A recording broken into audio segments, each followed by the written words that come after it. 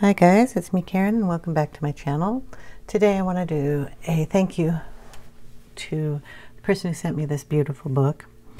I had it in my wish list after I saw Shannon uh, do a flip through of it and I thought it was a very very pretty book and I just kind of fell in love with it. so I want to thank you so much for sending it to me. Really appreciate it. You're so kind and for supporting me and showing me how, how, how pretty this is. I'm going to show you um, next to Magical Dawn how the sizes. Okay, so it's a little shorter this way.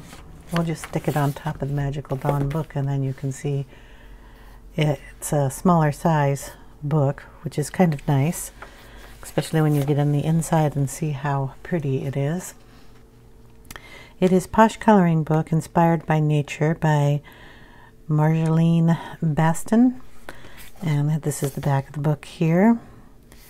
And on the inside of the back, that is the uh, publisher down here in the corner. It has a little blib back here. Also, an attention to schools and businesses that you can buy this book in bulk. So I'm assuming that this might also possibly be a educational tool, which is what I'm going to use it for. so we'll get into the book. Uh, it's a kind of a soft cover. The corners are all rounded off, and it kind of reminds me of a field book for watercoloring out in nature itself. So it has that kind of look that you would take your field notebook out and um, do your urban sketching or urban watercoloring and or nature coloring. So we already on the bat have that going for us. We have, like I said, soft cover, title sheet here, and then you get into the book. The paper is a thinner paper. Um, some people are bugged if they do watercolor and it crinkles the paper on the other side, but I get that nice crackly sound I think is adorable. Love it. So we get into the book. This is sewn, I believe, together in signatures. So you have little signatures. You could take this apart if you wanted to by just snipping these little threads. And um, they come apart pretty easy. Signatures are just sewn into the book. They're probably glued on the outside, but because it's done this way, you can snip it apart if you wanted to. You could punch holes in here and you could uh, photocopy this portion if you wanted to. The one thing you're going to notice is you have the beautiful page over on this side. This is the reference page, and this is your page to do this onto. These are done in a lighter, unblack line. So you'll have some that are pink, some that are green, some that are blue, and when you're using your um, colors on these, it helps you guide wise, but doesn't give you all the little details. You are to um, look at the details on this side and put them on this side.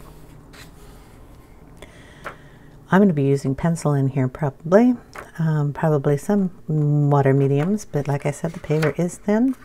If you want, you can, like I said, uh, take it over to your printer. Print this page off on a watercolor surface or a multi-medium surface if you want. I'm going to play in it as is because I think it'll be cool all done. It does lay flat, which is another nice thing. You'll get your reference and your pretty page over here. These pages are absolutely gorgeous. I think I'm going to have a lot of fun in this book. Here's your stitch line right down the center, and each one of these um, signatures, there's quite a few of them in here, you can pull out if you wish. Easter, isn't that cute? I like how they did their um, color schemes on this side also. So some cardinals here. Mushrooms. I like how that page is done. And like a little bucket full of the spring flower cuttings. Some irises here. That'll be really pretty done. I mean, all of this is gorgeous. So I'm just going to do a flip through of this Oh, that's going to be fun too. All of this is just. She was doing a flip through, and I was like, I like all those pages. so I wanted to do them all. There's quite a few in here, like I said. I think there are, I'm going to say hundreds. It's, like I said, thin paper. To take a while to get through.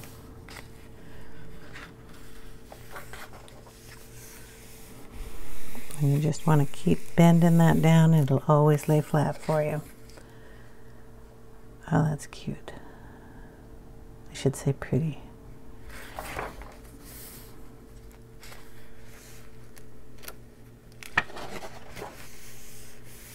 You don't have to um, do it exactly like this. It's just, I'm to try. Oh, that's cute. So paintbrushes on the house. Uh, little bird feeder. Little mousey. Watering can. Bird's chowing down on some berries of some kind.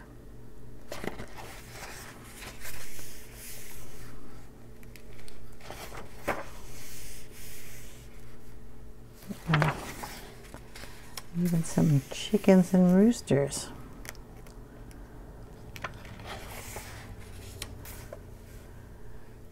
Little ladybug on there. Oh, a squirrel. yep, yep, yep. Another bird feeder. Woodpeckers. Uh, I don't like woodpeckers. We've got a lot of woodpeckers over here. got a lot of trees that I like to peck on too, but they do tend to want to peck on your house. I don't like that part. And I don't know what that little guy is called. I'd have to look him up. Chipmunk. And some chickadee type birds here on a fall. That's really cute. I can see framing these. Little bunny. Some seashells.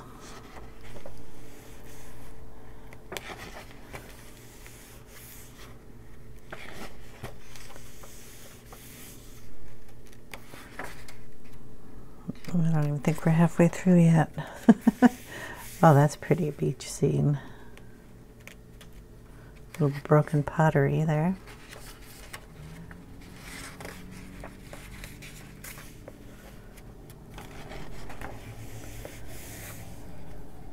That's cool with the background up here and then a nice square. So yeah, watercolor probably. This is an educational tool for watercolors. Little squirrel. Oh, I love that page. During the day and then during night. Oh, the bunny. Cute, cute.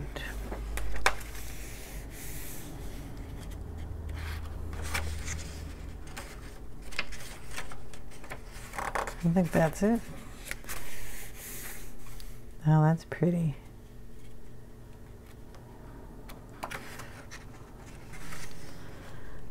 I know there's another page here. There we go. another seashell. More woodpeckers.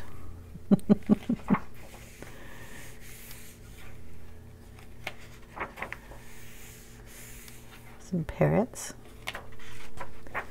We don't have parrots in the wild around here. We just have the little birds. Well, we have big birds, but they're not parrots.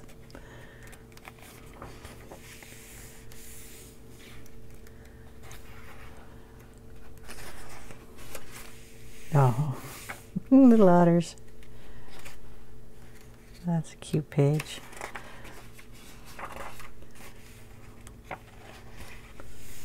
birdhouse.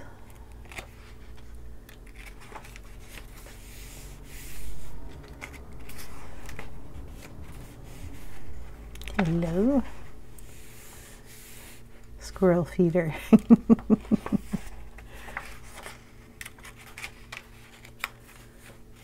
And nuts. And there we go, to the end of the book. So yeah, one awesome book. Thank you so much. I hope you guys enjoyed the flip through and I will see you in another video. Take care everyone. Bye now.